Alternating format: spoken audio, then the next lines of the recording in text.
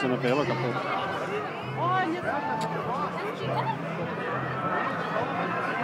Maar die viel zo mis. Ik ken op de hekken.